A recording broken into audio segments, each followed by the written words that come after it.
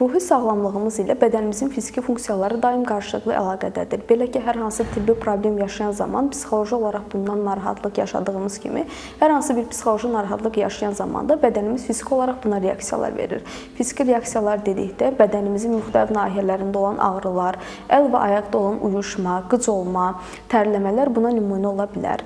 Həmin əlamətlər psixosomatik xəstəliklərin əlaməti ola bilər. Belə ki, psixosomatik xəstəliklər dərmanla müalicə olunmur uzun müddət yaşanan gərginlik, adaptasiya problemləri, mənfi emosional yüklənmə, ailə daxili münaqişələr, bütün bunlar hamısı psixosomatik xəstəliklərə yol açan e, simptomlardır. Və psixosomatik xəstəliklər dərmanla müalicə olunmadığı üçün mütləq şəkildə bir psixoterapevtdən dəstək almanız lazımdır. Bilməlisiniz ki, həmin əlamətlər, problemlər sözə tökülmədikdə bədən ona reaksiya verməyə başlayır və siz ömür boyu bu ağrılarla yaşamağa məhkum deyilsiniz. Ona görə də bir mütəxəssisdən dəstək almağınız ömür boyu bu ağrılardan qurtulmağınıza kömək olacaq.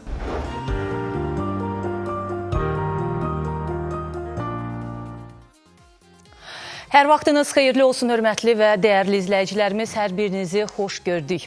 Logos Psixoloji və Nitq İnkişaf Mərkəzinin təşkilatı dəstəyi və Aminastil dərman preparatının sponsorluğu ilə danışır psixoloq efirdədir. Studiyada Vəfa Nadir qızıdır. Biz aminostili təklif edirik. Amin turşuları ilə zəngin, damcı formalı aminostil ilə uşaqlarınız sürətlə inkişaf edəcək, rahat qidalanacaqlar. Heç bir zərər olmayan bu məhlul immun sistemini gücləndirir və körpələrinizi müxtəlif xəstəliklərdən qoruyur. Uşaqlarda əqli və fiziki inkişafın, boyun uzanmasına və nitqin yaxşılaşmasına təsir göstərir. Aminostil yalnız uşaqlar yox, böyüklər də qəbul edə bilər. Aminostil sağlam inkişafın sağlam təməli. Məhlulu apteklərdən resepsiz əldə edə bilərsiniz siz.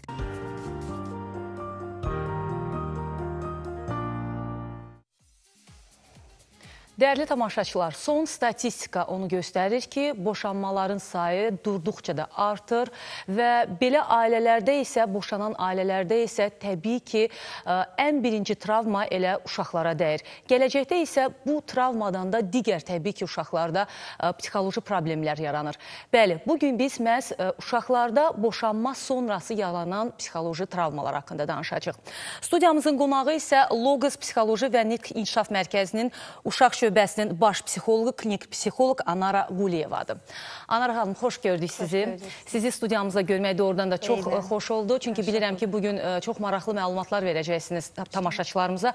Həqiqətən də son dövrə nəzər salsaq, bilirsiniz ki, boşanan ailələrin sayı çoxdur təəssüf. və bu ailələrdə çox təəssüf hissi ilə təbii ki, bunu bildiririk. Bu ailələrdə də ən çox zərbəni də elə uşaqlar alır.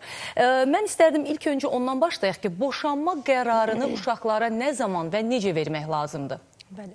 Deməli Vəfa xanım, boşanma bəzən biz bəzən yox, əksər hallarda bizim yanımıza boşanma ilə bağlı müraciət edən valideynlərə, yəni daha doğrusu boşanandan sonra belə bir cümlə işlədirik. Biz bunu həmişə təlimlərimizdə də işlədirik, tələbələrə də deyirik, stajlarlara da deyirik. Boşanma bəzən uşaq üçün ən doğru qərardır. Yəni qərar ola bilər. Çünki problemli ailədə böyüyüb travma almaq, bəzən boşanma sonrasında uşaqlar bundan daha az ə, e, bir təsirlənir. Amma ə, e, bütün uşaqlar ailə dağılandan sonra az və ya çox mütləq travma alırlar. Əgər valideynlər boşanandan sonra da uşaqlarını düşünmək adına onlara belə psixoloqlarla əlbə belə, bərabər çalışdıqları müddətcə bu travmalar minimuma endirilə bilər. O ki qaldı uşaqlara boşanma xəbəri necə verilməlidir? Birinci növbədə uşaqlara boşanma xəbəri yəni boşanma haqqında məlumat hər iki valideynin tam dəqiq qərarından sonra verilməlidir. Bu gün mən e, düşünürəm ki, yoldaşımla boşanacağam, bunu uşağıma paylaşım. Sabah biz barışırıq, digər gün yenə fikirləşirəm boşanacağam. Bu cür getdi-gəldi xəbərləri uşaqlara verdiksə, uşaqlar çox böyük travma yaşayır. Onlar ananı itirmə qorxusu, atanı itirmə qorxusu, tək qalma qorxusu olur və bu da onlarda e, ən ağır narahatçılıqlardan tutmuş, məsələn, uşaqda e altına qaçırtma, kəkələmə, gecə problem, yuxu problemləri, yemə problemi, bunun kimi yüzlərcə problemə səbəb ola bilər.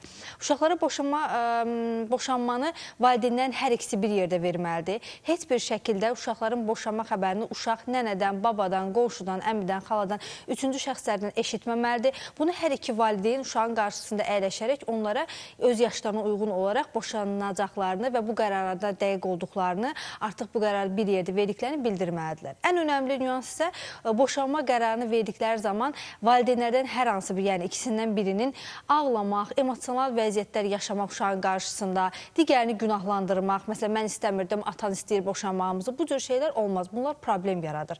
Hər iki valideyn ikisi də e, monoton emosiyalarla, duyğularını tam olaraq belə deyək, acındırmalı şəkildə bildirmədən uşaqlarına bəli bizim qərarımızdır. Sənin hər şeyin olduğu kimi qalacaq, sən burada qalacaqsan. Bunları ifadə edərək boşandıqlarını bildirə bilərlər. Yəni daha doğrusu boşanacaqlarını bildirə bilərlər. Aha.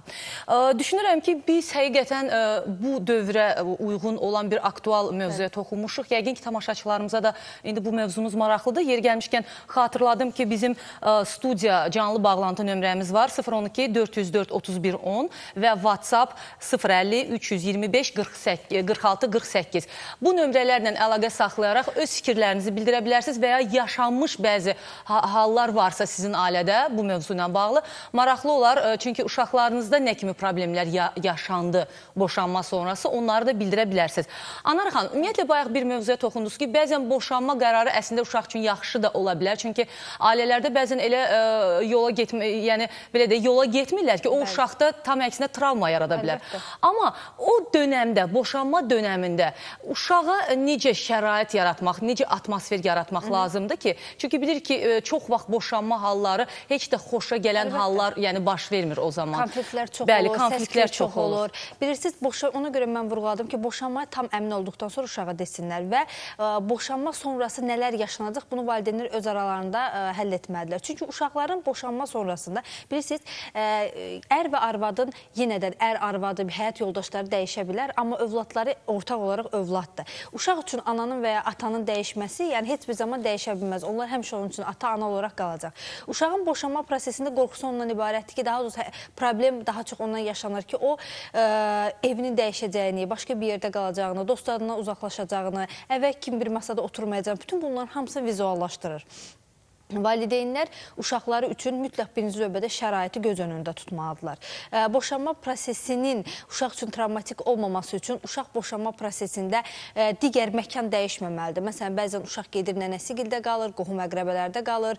Uşaq eyni şəkildə məktəbinə davam etməlidir, eyni evdə qalmalıdır, gün rejimi eyni olmalıdır. Yəni bundan əvvəl necə idisə, indi də elə olmalıdır. Yəni böyüklər hansısa uzaqlaşıb və yaxud ya gəlmək istəyirsə evə, bu onların artıq şəxsi işidir. Amma uşağın rejimində minimal dərəcədə dərəcədə dəyişikliklərə önəm verməlidirlər ki, hər şey olduğu kimi qalsın. Və bir də səs-küy, davalar, bunlar ən çox uşaqları təsirləndirəndir. Yəni valideynlərin bir-bir uşaqların qarşısında konfliktlərini həll etməyə çalışmaları, bir-birini günahlandırmaları, hətta çox vaxt bəzən olur ki, e, uşaqlardan su istifadə edirlər, uşaqları atırlar qabağa.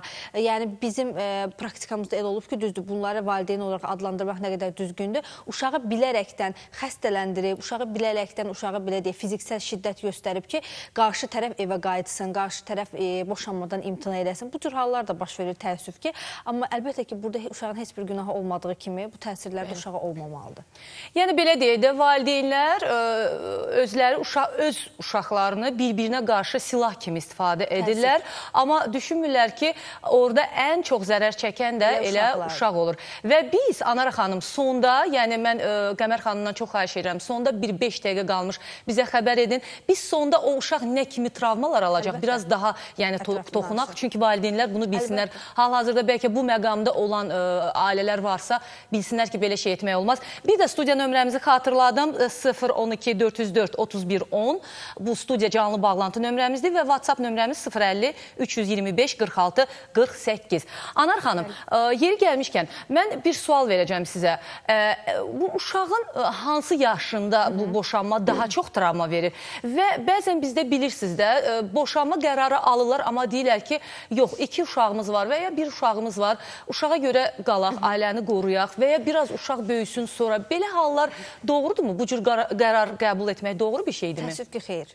Ə, uşaq və boşanma mövzusunda danışdığımız zaman hansı yaş qrupunda biz boşansaq uşağa heç bir şəkildə təsir olmaz, belə bir şey yoxdur. Hər yaş qrupunda, körpəlik dövründə də, məktəbə qədərdə də, yeniyetməkdə də, hətta yetkin dönəmdə, yəni artıq yetkin kimi ayağını ə, belə ayaqları üstə duran bir insanın anasının atasının boşanması ona belə travmadır.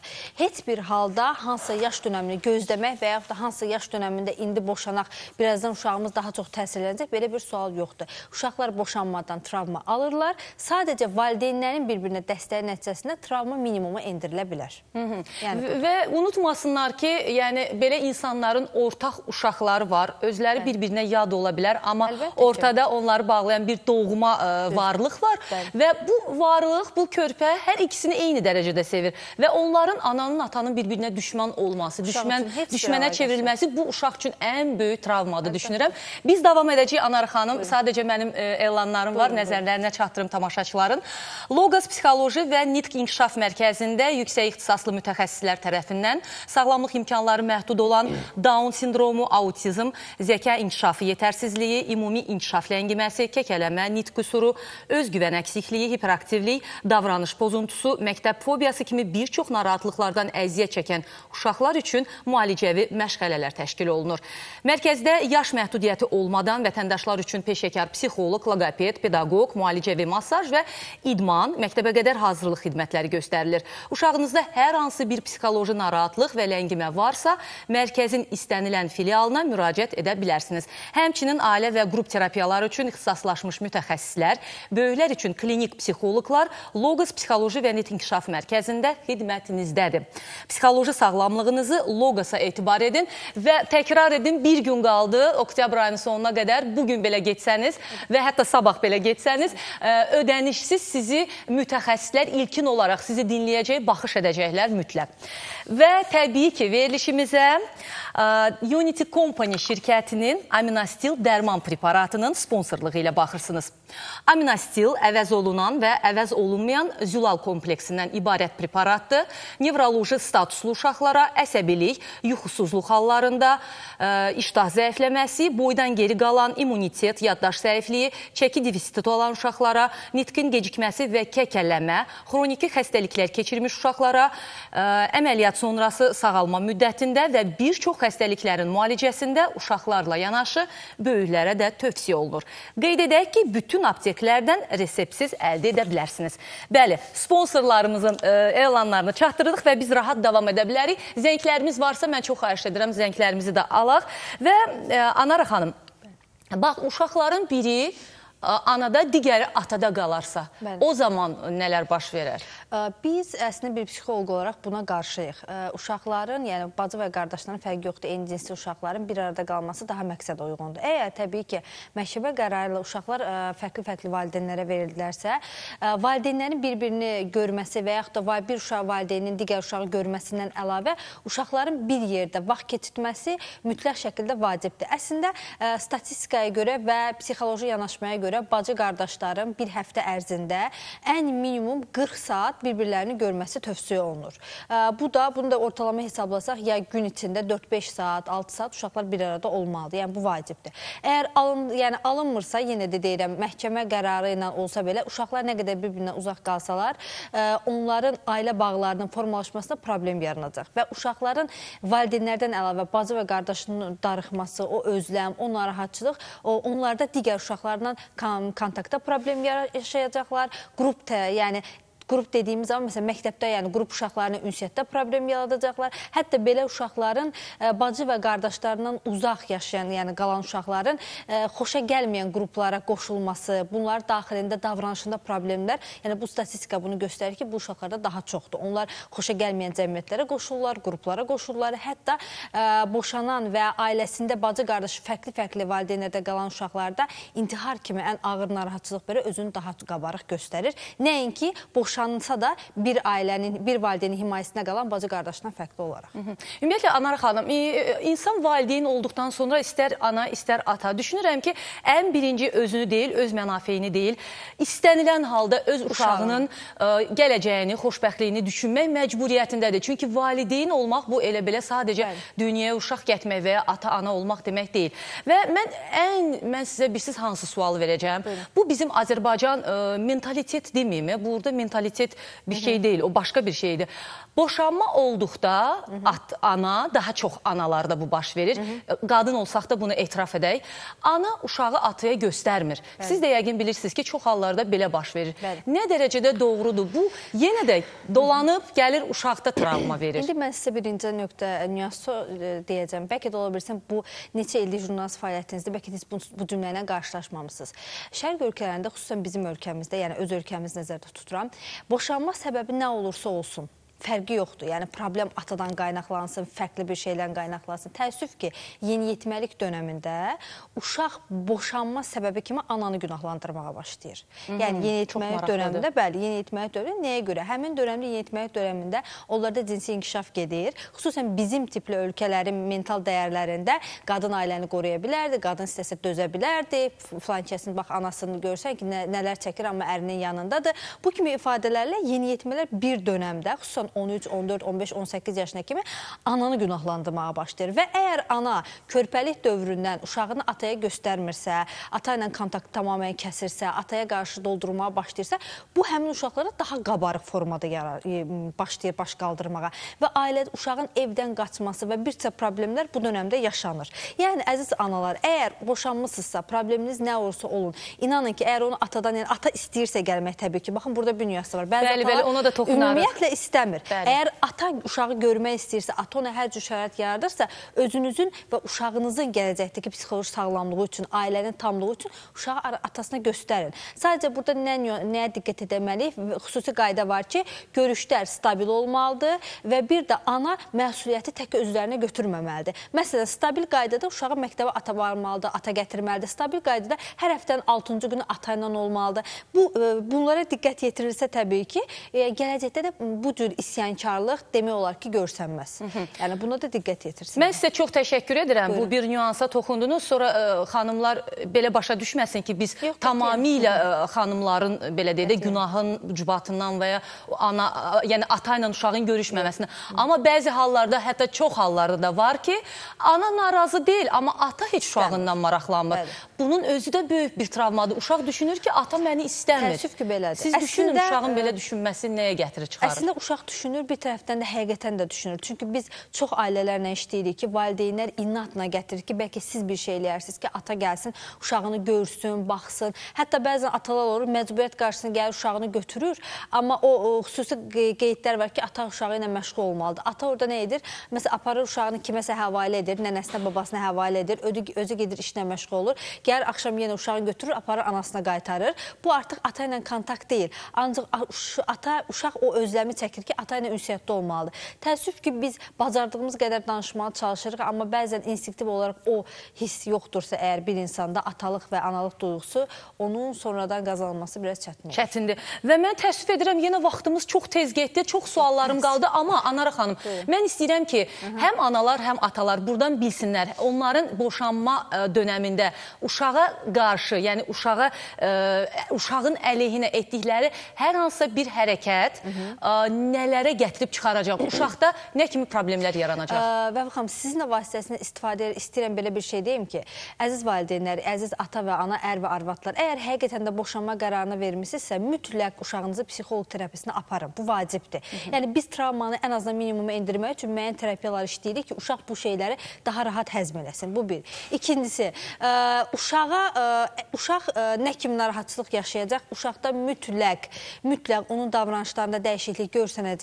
Uşaq mütləq özü cəmiyyətdən uzaqlaşmağa çalışacaq və yaxud da isyankar davranışlar nümayiş etdirəcək. Yəni bağçaya, məktəbə gedən uşaqlarda bunu ətrafdan hiss eləyəcəklər ki, bu uşağın ailəsində nəsə bir şey olur. Çünki uşaq bir növ evindən uzaqlaşır. Uşağın evi yıxılır. Yəni bu da sözün hə, əs, e, belə deyək də həqiqi mənasında belədir. Dünyası yıxılır, belə Dünyası deyək, yıxılır. xəyalları Və o yıxılır. böyüklər üçün gələcək fikirləşilə bilir həmin dönəmdə ki, mən boşanaram, həyatımı belə quraram, amma uşaq onu fikirləşə bilmir. Uşaq fikirləşir ki, bu bitdi, yəni bu sondur. Atam getdi, anam getdisə, Artıq mən bundan sonra, yəni istədiyim kimi yaşaya bilməyəcəm, bu xoşbəxtliyi əldə edə bilməyəcəm. Uşaq bunu düşünür. Əlbəttə ki, bu travma ilə də böyüyən uşaq, yəni gələcəkdə biz onunla bir şəxsiyyət kimi nə gözləyə bilərik? Hər zaman cəmiyyətdə öz yerini tapa bilməmək, o problemi yaşayacaq, öz yerini tapa bilməmək. Və bunun qarşısını almaq üçün valideynlər birinci maarifli olmalıdır. İkinci mütləq, yəni, ən azından valideynlərdən biri psixoloji e, yardımdan istifadə etməlidir. Yəni özü bunu uşağa görə demirəm, Ayvə xanım, bunu da vurğulayım ki, boşanma keçirən hər qadın və yaxud da hər kişi travmalılar.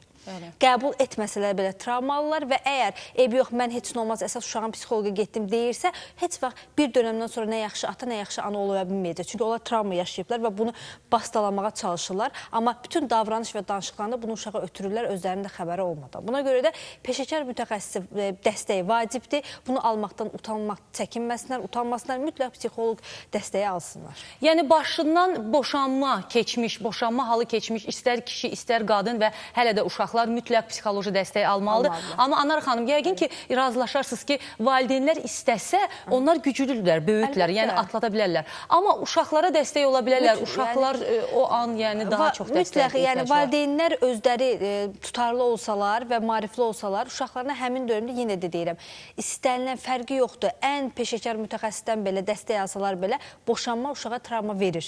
Sadəcə olaraq biz e, belə deyək də o travmanı minimuma endirməyə çalışırıq. Yəni Hətta belə bir şey də deyim vaxtımız varsa, yəni artıq boşanıblarsa, yəni elə bir ailələr bizi efirdən izləyirsə, artıq illərdir boşanıblar, yəni bu problemi belə deyək bəlkə özlüyünü atladıblar, amma mütləq heç olmasa bir dəfə ə, e, öz övladlarını psixoloq müayinəsinə gətir gətirib onların bu boşanmadan sonra əslində nələri həyatlarında dəyişdiyini, uşağın xarakterinin boşanmadan sonrakı dəyişiklikləri müəyyən edib, yəni nə qədər gec olsa da onlar uşaqlarına kömək edə bilərlər. Hı -hı.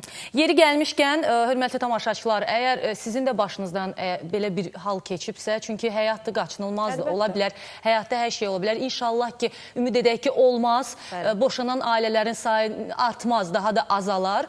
Ə, amma e, Logos Psixoloji və Nitq Mərkəzində həqiqətən sizə və övladınıza kömək ə, olacaq çox peşəkar ə, mütəxəssislər var. Onlardan biri klinik psixoloq hal-hazırda studiyamızdadır. Mən sizə çox təşəkkür Siz edirəm ki, bu mövzuda gəlibsiniz. Amanar xanım, mən ə, təklif edirəm ki, gələn verilişlərimizdə də Lütfen. gələsiz. Çünki bizim yarım yarımçıq qaldı, suallarımız çoxdur. Bəli. Bizim çox az vaxtımız var, amma boşanma baş verdi. Hı -hı. Gələcəkdə ana və ata öz həyatlarını qurmaq məqamı Bəli. düzdür, geniş bir mövzudur, amma Hı -hı. yenə də qısaca olaraq.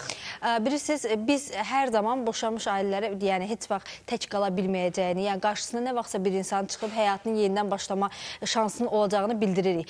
Bu zaman sadəcə yəni qısasını deyim, əslində çox geniş mövzudur. Sadəcə onu deyim ki, uşaqlarla gələcək həyatınızdakı insanı tanış etmək üçün yəni bunu qətiyyən anidən etməyin. Bu haqda ona əvvəlcədən məlumatlar verməyə başlayın. Belə bir insanla dostluq edirəm. Yəni ciddi münasibəti bildirməyin. Çünki anidən ciddi münasibəti bəzən valideynlər səhv edir ki, anidən deyir ki, o biz ona ailə quracağıq, hər şey ciddidir. Bu uşaqlara travma verir.